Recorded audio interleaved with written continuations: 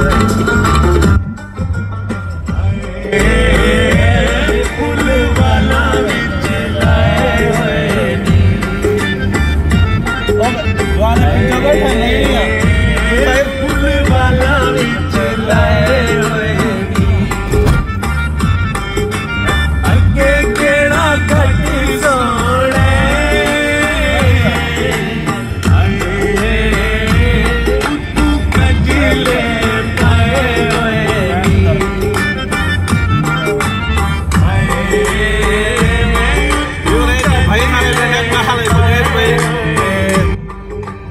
ਨਾਲ ਜੁਲਦੇ ਪਏ ਜੁਤਾਈ ਪਹੁੰਚਦੇ ਉਦੋਂ ਉੱਥੇ ਦਿਖੇ ਸੋ ਮਾਹੌਲ ਜੁਥਾਰਾ ਮੱਜੇ ਦੇ ਵਿੱਚ ਜੁਮਾ ਪੜਦੋ